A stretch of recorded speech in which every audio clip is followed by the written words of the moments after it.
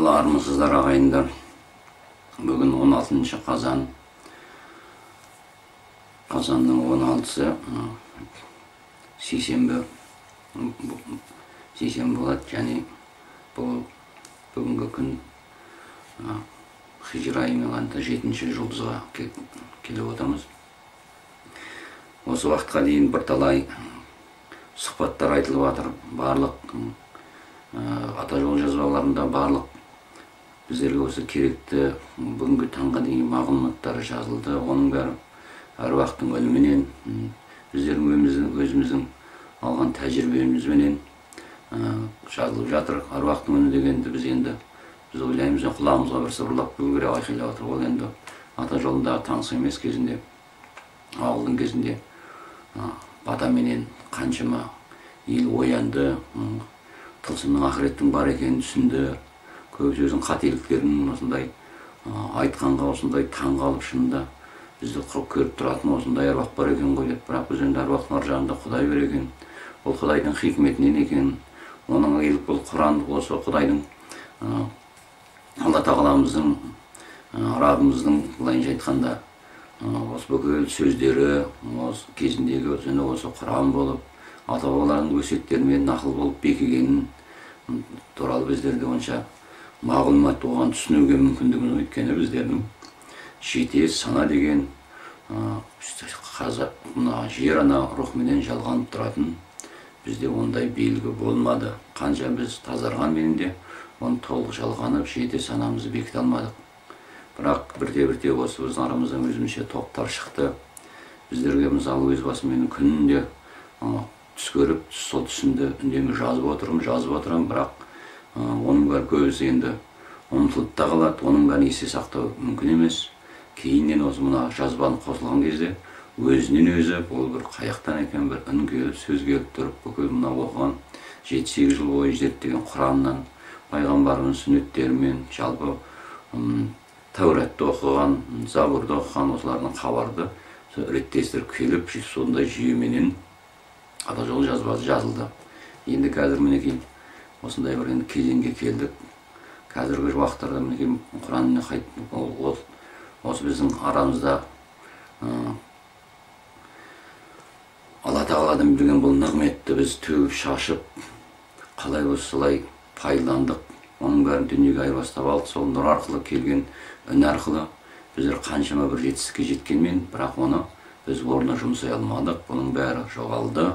Сөйте сөйте келіп кезінде батаға да зар боласың деген айтылған әруақтардың ескертуімен қазір бізде мысалы ата жолында бата дегеннің өзі жоғалып кетті. аз ғана осы бір екі бір екі үш аққуымыз ғана беріп жатыр баталарды шығарып жатыр сұңқарлар жоқ. Бірақ сол бұрынғы ауылдың кезінен ашылған онан кейін жалған мөр ашылған мөр салды деп айтылған осындай көптеген өзінше жалған аққу сұңқарлар жалғандықпенен мына жындардың сөзін жеткізіп жатыр сондықтан бұл қай сөз жыннан қай сөз әруақтан екенін ажыратуды мүлде халық қал білмейді. Өйткені мына жете сена жабық тазалық болмағаннан кейін жүректе ол аруақтың үні жазылмағаннан кейін құранның үніне жалғанбағаннан кейін адам баласы ол сөздің құнын қадірін қасиетін түсінуі мүмкін емес. Осындай жағдайда біз енді қазір мына сұхбаттас тобын құрып сіздермен сұхбат құрып батаны талқылап жатырмыз соның арасында бұл енді алла тағаланың берген бұл нығметі қазір осындай ізденіп құранға жалғанып оқып жатқандар бар. Бірақ біздер осы бүкіл өзімізге тағдырымыз берген өзіміздің жас кезімізден жасаған күнәра қателіктерімізден не болмаса өзіміздің мына жақсы мен жаман қосылады дейді. Әр да бір жағына егер де біздің жұбайымызда бір жақсылық жағы көп болса керісінше мына еркекте соның жаманшылық жағы тұрады. Керісінше еркекте бір жақсылық жағы болатын болса ол әйелде жаманшылық жағы тұрады. Осындай осындай бізді? Екі бір жақсы мен бір жаманды алла тағала қосады. Осындай осындай жағдайдан кейін біздер мінекей сол өзіміздің жұбайларымызға өзіміздің балаларымызға оның яғни екі жақты ата аналардан келген барлық осы жүктерге яғни әруақтық әруақтық жүйелерге әруақтық міне жын болсын шайтан болсын оның бәрі осы адамзаттан өнеді өзіміздің тұқымымызда ұрпағымызда біздің өзімізде осы жын шайтандық көңіл көлеңкелер бар. Соларға жалғану арқылы біз енді соларды тазартуымыз керек. Соларға біз қуат қосуымыз керек. Яғни құранның үнін оларға сіңіруіміз керек біздер арқылы билену керек. Сондықтан бізге құранның үніне жалғану міндетті. Ол үшін біз ең баста сөз дін жаралды. Адамзатта бүкіл әлемде сол сөзді меңгеруіміз ол қазақтың өзіміздің ата бабамыздан жалғасып келе жатқан абай атамыздың түзеп беріп кеткен осы нақылдармен сөздерінің адамда өзі жетпіс екі түрлі мінез болады. Сол жетпіс екі мінездің қыр сырларын меңгеруіміз керек. Осындай жағдайда мінекей қазір сұхбаттастар тобы әртүрлі топтар ашып жатырмыз өзара сұхбат болып жатыр. Бірақ бізде қазір әл, әлі де өзіміздің арамызда жетпейтін нәрселер көп түсінбейтін нәрселер көп. Оның бірі түсінбеушілік қай жақтан пайда болып жатыр. Осы түсінбеушілік мына біздің қасиетті аталып кезінде жұртқа ақыл айтып жол көрсеткендер қазір енді сол өздерінің мақтандарынан сол білініктен шалмай яғни періге жалғанып кеткен бұрынғы біздің кезімізде кеңес үкіметінде біздің ата дәстүріміздің онша ықпалы бола қойған жоқ оның тек мына көргенді сол сондай бір жақсы отбасынан шыққандар болса көбімізде бұндай тәрбие болған жоқ сол өзіміздің тәлім тәрбиеміздің абай атамыздың мына үш төрт жылғы әдетін өмір бойы жендетің деп сол біздің өзіміз жендеттеріміз іздеп келіп біз соларға жалғанып кетіп перілік жындылық деген қазір біздің араларымыздың өзінде де үлкен бір кедергі болып жатыр. Осы кедергіні кедергінің себебінен біздерде қазір арамызда өзара дау туып жатыр. Өзара бір бірімізді түсінбестік болып жатыр. Мұның бәрі бірақ ол қалыпты. Осылай ол болу керек. Осыдан біз қайсысы дұрыс қайсысы бұрыс деген үлгі алуымыз керек.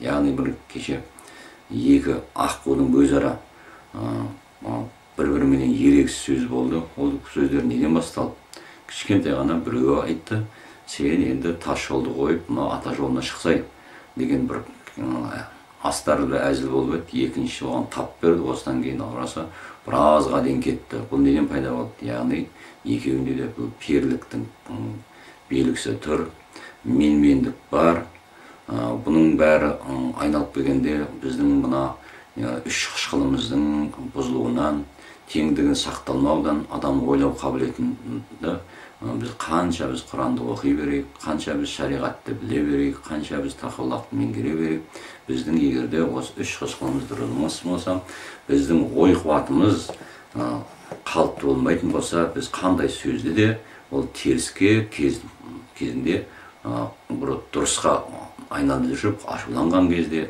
я бір сондай жағдайға түскен кезде біз оны теріске айналдырып аламыз. Мінекей осындай жағдай қазір көп болып жатыр содан кейін тағы ата жолында бұрынғы бата беріп елге ақыл айтып жүргендер бұлардың бәрі жұрттың жамандығымен жалғанды олардың садақаларымен күн көрді олардың отбасының басына дейін осылай жүктелді жұрт мынау берген адам ешқашан да ұтылмайды садақа берген адам ал садақа алған адам ол өзінің тазалығыменен құдай тазартатын сондай дәрежеге жетпесе ол сол жұрттың алған садақа арқылы жұрттың ауруыменен жұрттың көлеңкесіменен осындай жүктеле береді. Сондай жүктелгендердің бірі оралдың бір аққуы әпе осы маған хабарласып оған біз енді сырқат белгісін қойып яғни құран арқылы оның ішкі дүниесінің дұрыс еместігін қаншама қыспаққа түскен теріс қасиетке жалғанып кеткен яғни қасиеттің терісі деген сөз ол мынау жын шайтанға жалғану соған жалғанып кеткен оны мақұлдап отырып ақырында ол бұл өзіме қарсы шықты яғни сен ата жолы дұрыс емес сенің ата жол жазбаң да дұрыс емес сенің жасап жатқан қамшыңды жатқан қамшың да дұрыс емес деген сияқты осындай үлкен бір неге онымен бір рет шығарып жіберіп едік тағы екінші рет қайтадан кіргізгеннен кейін тағы да сол әңгіме басталды. Соныменен ол таңертеңнен кешке дейін мені қарғаумен болды. Бұның артында не тұр? Алла тағала сүйген құлдарының өзіне жақындаған құлдарына елшілік дәреже береді онымен бірге жазаушылық қасиет береді. Осы жазаушылық қасиетті арқасында мен кезінде мына масқапшыларменен мына білімді қауымдармен ата жол десе бәрі deyip жалда кететін тұғын бұл деген сотталған бұлар деген секта бұлар халықты алдаған соның садақасымен не осы аққу емес аққуға көлі деген сияқты сөздермен не мен солардың арасында кіріп солай көріп бұлар қарғайды біреуі жылан жұмыртқаласын дейді. Менің айтқан сөздерім осындай. Айтқан мен әумин дейтін мінекей. Әбден ашуландырып ызасына келіп. Әумин дейтін себебім оның өзі алла тағаланың берген уәдесі яғни ғиса пайғамбарымыз айтқан мен таспын деген. Сендер сол тасқа сүрінбеңдер деген. Яғни алла тағаланың осы рухтың жоғарғы дәрежесін пайғамбарымызға жалғанда оларда бір тастық қасиет болады сондықтан жапалақты тас құрсаң да таспен жапалақты ұрсаң да бәрі жапалақ өледі дегендей осындай бір алла тағала өзінің күзетшісін қояды. Осындай жағдай қазір болып жатыр осыны мен енді бұл бұл қасиетті біраз несін көрдім тексеріп сонан кейін маған ескертілістік айтадан енді бұндайды қой деп яғни жұртқа сен онда әумин деп қарғысына әумин деме керісінше оған иман берсін деп айт деп. Мінекей бірақ онда да арасында осындай кетіп қалады өйткені біз қазір бұл ата дәстүрін түгіл өзіміз тіптен көбісі мынау діннің өзінде де мойындамайды. Пайғамбарымызға жалпы құранға жалпы исламға тіл тиіп жатқан енді әрине ондай кезде қалай адам өзі шыдап тұра алады осы жағдай енді ауысып осы қазір ата жолының ішіне ауысты мінекей қазір. Аққуларымыз сол қаншама құранның үніменен қаншама жылдан бері жазылып ақылдың өзінің ұлпасы жалғанып осы әрі қарай жалғастырып жатқан күнге олар ашықтан ашық қарсы шығып меніменен соғысып жатыр. Яғни осының басында тұрған ібілістің бұл айдап салуы ібілістің ұрпақтарын өздері осы арамыздан дайындап жатыр. Яғни біз кәрімет деген болып жүрген аққуларымыз осындай жағдайға ұшырап жатыр. Бұның артында не тұр? Бұның артында олардың болашақ мінекей қасиет көздері ашылып қайтадан тазарып үлкен бір халықтың алдына шығатын осындай қасиеттілерді ібіліс айдап салып бұның арасын ұзартып енді олар осы арқылы өзі үш төрт жылға дейін өздерінің тағдырларын төменге тастап жіберіп жатыр. Бұны тоқтататын бұған қой дегенмен де әйел адамдар бір қызып алса мастанып алса бұған қой тоқтату мүмкін емес. Бұған бір ақ жағдай бар енді. Тек қана осы ата бабалықтар сынақ арқылы бұларға қыспақ түсу арқылы тоқтатады. Бірақ бұны бұлай біз өйтіп құдай өзі бұларға тәрбиеледі деп қарап отырғанмен де бұл бұлар көбейе береді. Осындай қасиеттілер өзін өзін осындай неге тасқа соққан бір не сияқты өзін өзін бүлдіріп осындай төменге тастай береді. Бұны тек бұны тек құтқаратын мына қамшы яғни қамшы ұстаған еркектер арқылы біз бұдан он шақты еркек қамшылайтын болса бұндай жағдайдан көп аққуларды көп қасиеттілерді мына періліктің ықпалынан құтқара аламыз мінекей. Бұны да дұрыс түсіну керек. Айналып келгенде мына қазір мына жүрек көз туралы мінекей жалған ақпарат тарап жатыр оны таратып жатқанның өзі айналып келгенде өзіміздің арамыздан шығып жатыр мына адам не дейді жүрек көзін ашқаннан қамшыдан оған зиян дейді қандай зиян бар деп маған сұрақ қояды. Егер әрине бұл енді қандай зиян бар екенін мен қайдан білемін өйткені мен өмір қаншама осы 15 жылдан бері жынханадан да осы болмайды адам болмайды дегендерді алдырып қамшылап өледі деген адамдардың өзінде осы қамшы арқылы яғни ақ қуатты алла тағаланың енгізу арқылы талайлардың аман қалғанын көрдік.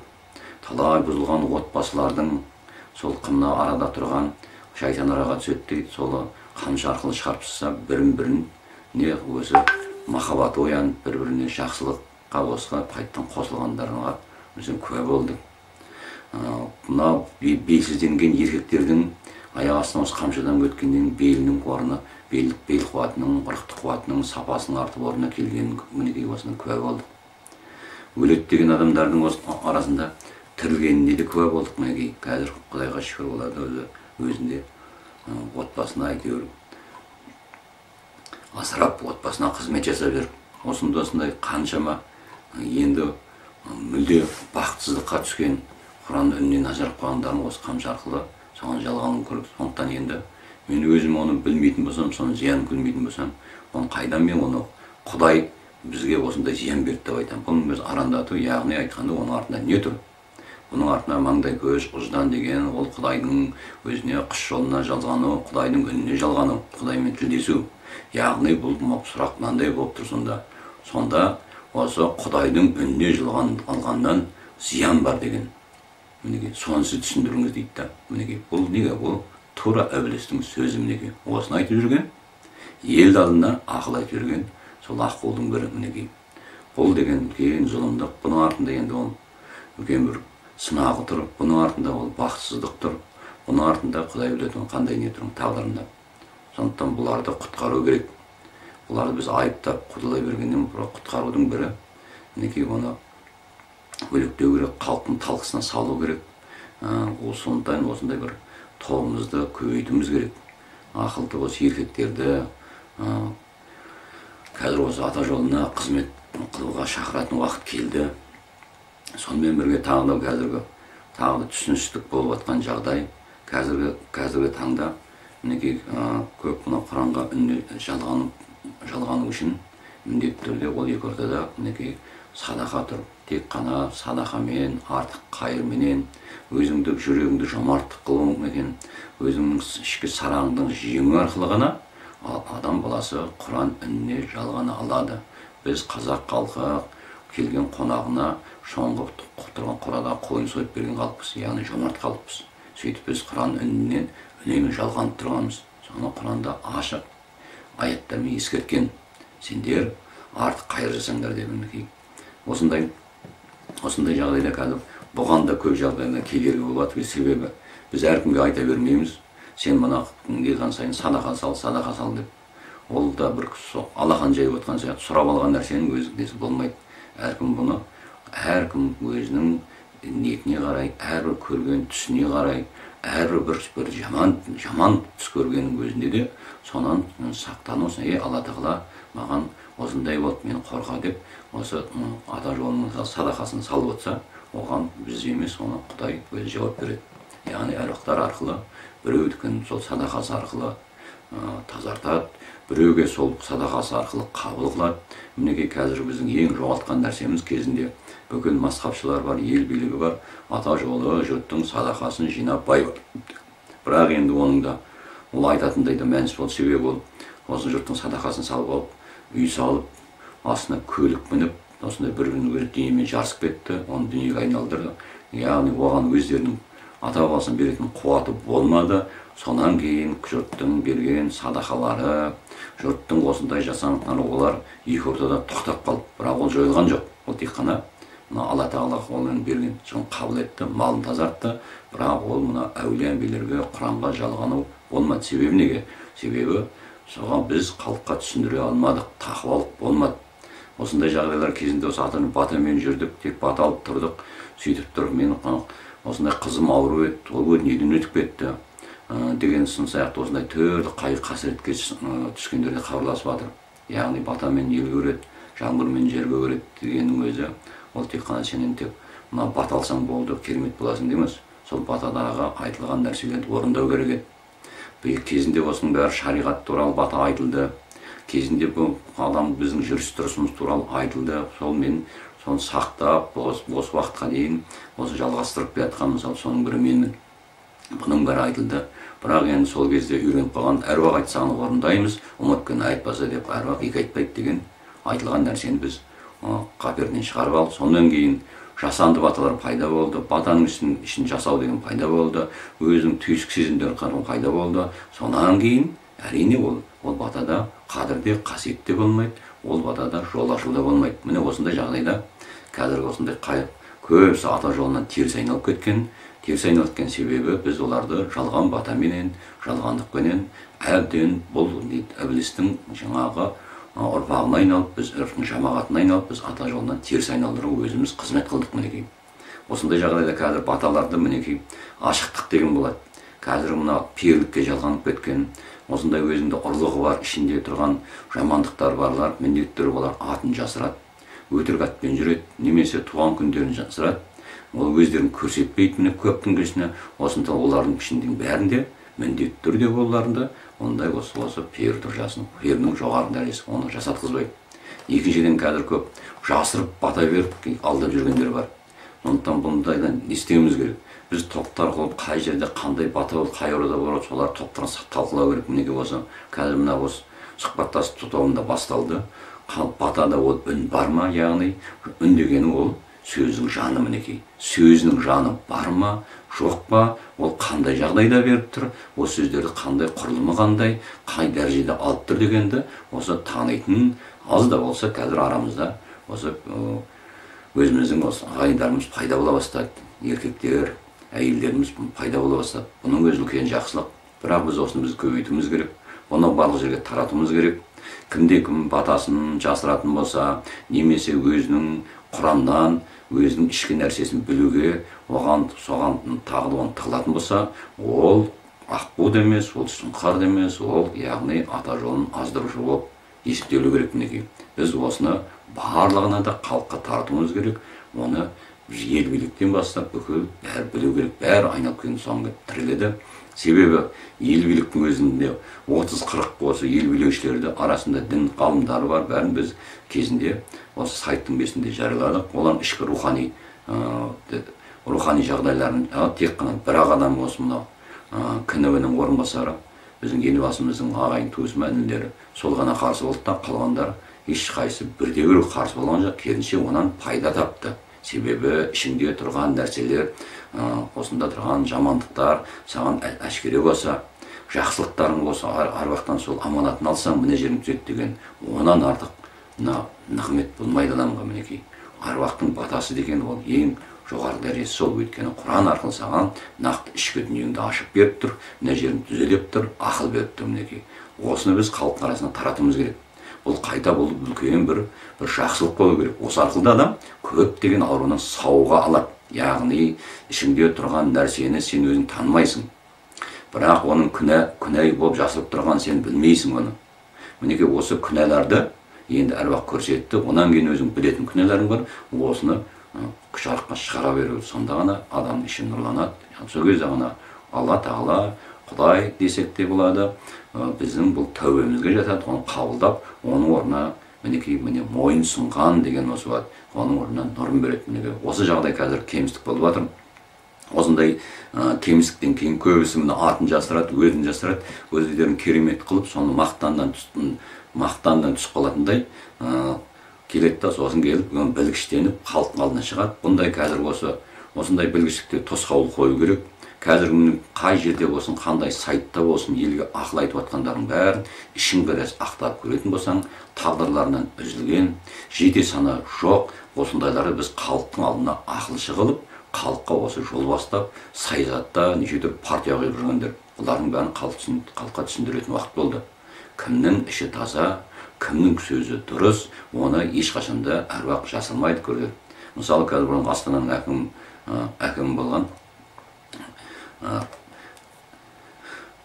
азаматты не қылды оған аруақтар үлкен бір нелер берді. Яғни оның ішкі бұрынғы қазір енді елбасымыздың көмекшісі отыр ғой.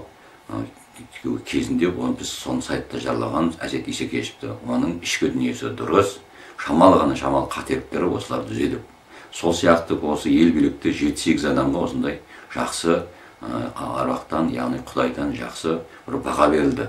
Яғни олар рухани болашақ халықтың алдына мінекей халық осыны білетін уақыт жетті. Біз қазір мінекей мына детектор лжи дейді ғой орысшалап айтқанда. Осы адам ішінде жалғандықта ол еуропалық тәсіл осындай бір психология жалған психологиямен біз жан ғылымменен біз қазір осының бәрін халыққа адастырып жатырмыз. Жан ғылымы деген мінекей қазір қазақтың әлем танымайтын әлем таңғалдыратын қазақтың өзінде тұр. Осындай біз аққу сұңқарларды дайындау үшін мінекей құранмен жалғауым керек.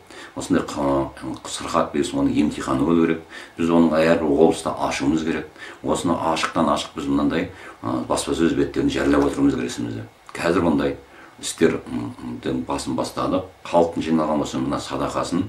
Егер де мен осы халық қазір ғана уақытша мен сол бір қорды бір ә, жинастырсам әлгі қор деген ол көп нәрсе жұрттың бір азызған бір тиіп тиіп қашып осындай бір анан жиналып жатыр. Бірақ соның өзіне біз қазір енді жақсы істерге жұмсай барады сол өзінің орнына жұмсалған садақамен халықтарға өзі қуат келеді мінекей. Қазір мінекей сауырып батырдың басын кезінде осыдан жеті жыл бұрын біз тауып оған белгі қоя алмадық оған біз ешкім осы ата жолын ешкім бұған назар аудармады ел билік те назар аудармады. Басына біз шарбақпенен тек қана айшананың туын қойғанбыз оның бәрі шіріген құлаған.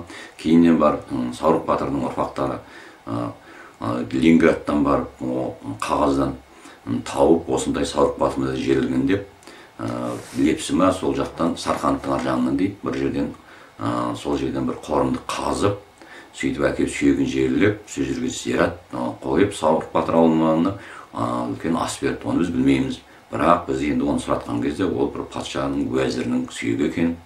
Ол қалай қазақ халқы ешқашанда орыстарға өзінің батырларын өздерінің осындай несін ешқандай орыстарға оның дерегін бермеген. Оны түнде осы басқа ұрлап басқа жерлерге жерлеп отырған. Міне осындай жағдайда қазір өзінің нақты өзінің басы өзі сауырық батырдың өзі аманат түсіп жатыр менің ұрпақтарым басыма келмей жатыр. Бұларды мына мына қолына пұл бер де сосын сына деген соның сынағына түсіп кеткен деп. Осындай жағдай біз мінекей қазір екі биігінде сауырық батырдың басына белгі қойдық. Сол жерге халық зираттаса әр әруақтың өзінің белгісі болады.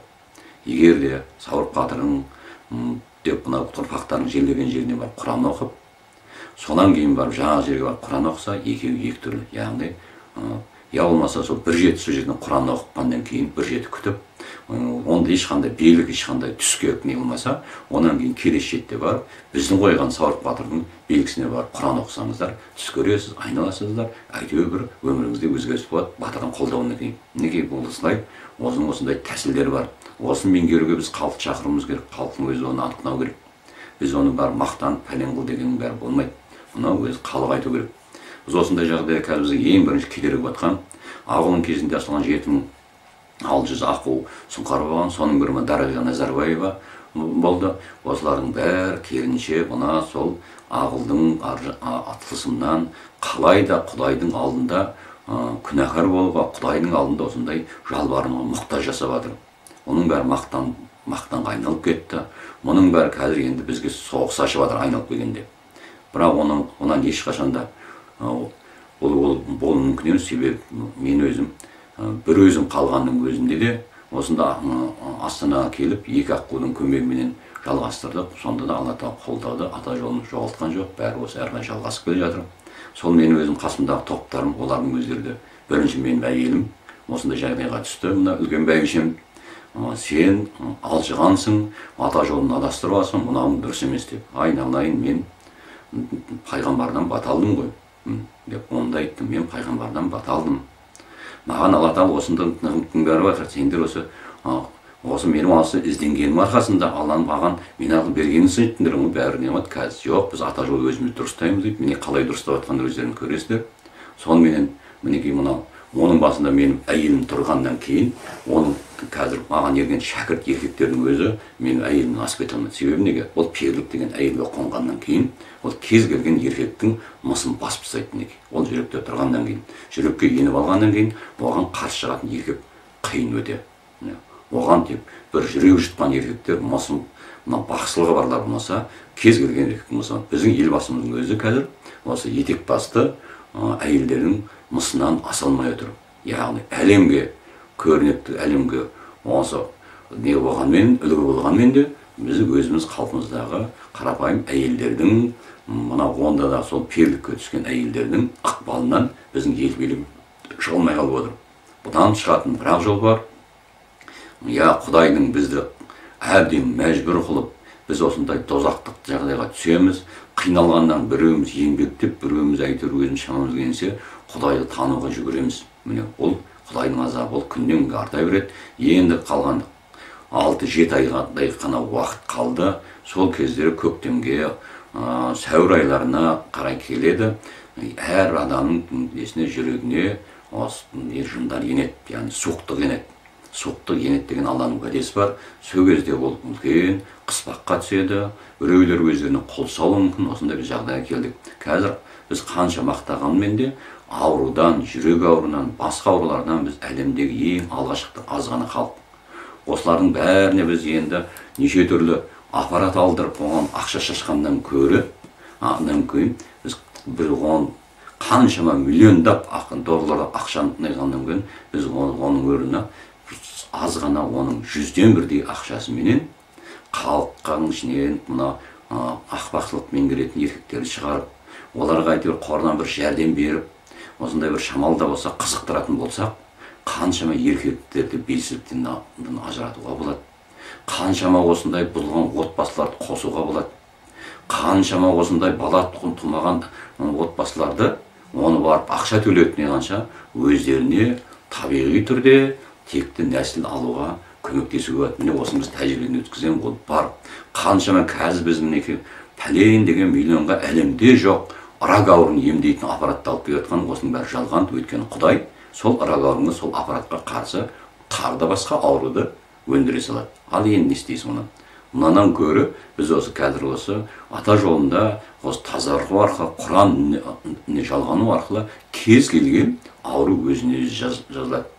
Әйелдің рагын қандай жатыр рактары болсын кеуде рактары болсын еркектің бел қуатын тазартуға тақуа арқылы еркектің ұрығы арқылы емдеуге болады.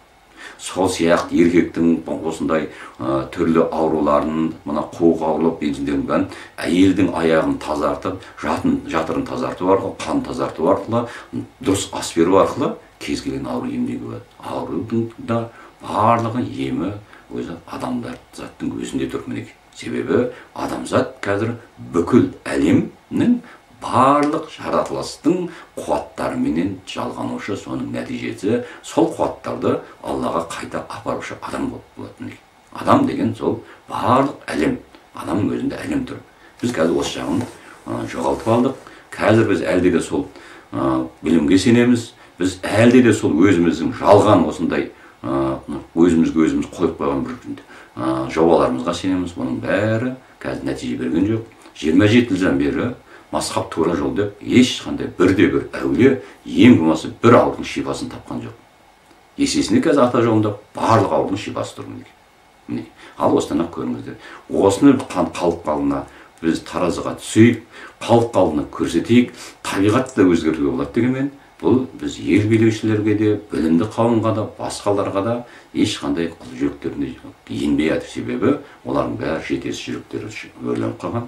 Олардың бәрі мына жалаңбас жүргеннен кейін арам асқан жүргеннен кейін ол жүрекке енді ә, түс көрмейді. Түс көрмегеннен кейін ол жанға жазылмайды. Жанға жазылмаған ол қанға өтпейді. Жүректегі сарайларға ол ақпарат яғни ол жүректе екі жүз нейрон болады сол нейрондар тазарып оған әлемнің ақпараты жазылмайды. Сондықтан адамның өзінде барды ғана ұғады. Ішіңде арам тұрса сен жақсыны ешқашан да ұға алмайсың мінекей. Осындай жағдай келді. Сонымен бірге қазіргі тағы осы болып жатқан осындай үлкен мына қарама қарама қайшылық жағдай бұл мына біздің қазір осы ақпараттың бетінде де көрініс беріп жатыр ол біздің мына осы тақуалықпенен киімді меңгеру дұрыс тамақ жеу мына бас киіммен жүру бұлардың бәріне қарама қайшылық. Қазір мен осыны қанша осы зерттеп қанша адамдарды бізден өткенмен олардың көбісі сынып кетіп жатыр себебі бізде қоғамда оны қабылдамайды. Яғни бас киім киіп бір ешқандай мекемеге кіре алмайсың. Ол қорқыныш сосын әйелдеріміздің арасының өзінде көшеге қарап бейімделеді. Құдайға құдайдан емес халықтың көзқарасынан жұрттың елдің көзқарасынан көреді. Міне аққулардың өзі сондай қазір. Көшеге қарап бейімделеді. Көңілдің тоқтығы жоқ. Соның сонан кейін біз қаншама нәрседен айырып қалып қандай өздері талаптанып меңгеруге келеді. Бірақ олар кезінде сол ақылдың кезінде үйреніп қалған. Мына ақылдан мына жүректен жүрек асудан өтсе болды. Осы кәрімат жұрттың алдына шығып ақылшы болып келіп сол арамасын жеп жүріп жалаң жалаң шалбар киіп жалаңбас жүріп ақ осындай біз керемет болдық деген сол баяғы сол өзінің меңгерген көлеңкелері қайтып келіп сол бұрынғы жағдай қайтадан түсіп кетіп жатыр. Бірақ бұл енді қазіргі таңда алла тағала біз осыны таза құдайға біз тек қана осындай қазақтың бұрынғы дәстүр салтымен ғана біздің ата бабаларым әрбір меңгерген біздің осы кешегі біз кеңес үкіметінде отырған біздің әжелеріміз аталарымыз осылардың бәрі сопы болған сопылық дәрежеде тақуалық меңгерген яғни сопылық дәрежеде тақуалық біздің шариғатымыз енді соның ішінде сол біздің шариғатымыз ата дәстүрімізде тарихат та тұр мағрифат та тұр себебі біздің ақын жазушыларымыздың бәрі кеше өткен мына машкүр жүсіп кейінгі мынау жалпы мынау мағжан жұмабаев басқа мынау осы бесағыс дейміз осылардың бәрі көзінде маңдай көзі ашық болған толық тақып алыпты меңгере алмағанмен де ол заман оған мүмкіндік бермеді бірақ маңдай көзі ашық болған қазіргі жағдайда осының бәрі маңдай көздігі қарапайым ғана біз мына сөзін ұғыну жете жетенің өзін таба алмай жатырмыз осыған байланысты тағы да енді қазір мынау көп сауалдар туындап жатыр біздің ордалардың мінекей қазір осы қалай да біз ордаларды әр облыстарда ордаларды ашуға ол енді қазір біздерге мүмкіндік болмай жатыр сауырып батырдан кейін қазір енді осы біз рысқұл бақсының басына билік қойсақ деп жатырмыз тағы бір ордада осы мынау бірінші тазалық неден басталады? Міне біздің әжетханамыздан басталады да. Қазір көп жерлерде осы мына орда көпшілік жиналатын жерде сол дәрет алатын әжетханалар дұрыс емес. Сондықтан біз қандай жағдай болсын қандай болсын әйтеуір жұрттан қорым сондай жиналатын жерлерге осы қайтадан мінекей әжетханаларды дұрыстауымыз керек жұрттың дәрет алып жүретінге мүмкіндік жасауымыз керек. Осындай қазір жолда болсын мейлі кейбір осы ас ішетін орындарда болсын құманы бар дұрыс дәрет алатын мұсылмандық әжетханалар жоқ мінекей осылардың бәрін қолға алу керек. Сосын намаз оқитын орындар мінекей болу керек әр жерде мінекей. Осындай жағдайда ғана біз халық осы өзіміздің мына арамыздан тазарып рухани оянуға бір бірімізге деген осындай бір махаббаттың пайда болуына мүмкіндік тағы бұл енді махаббат.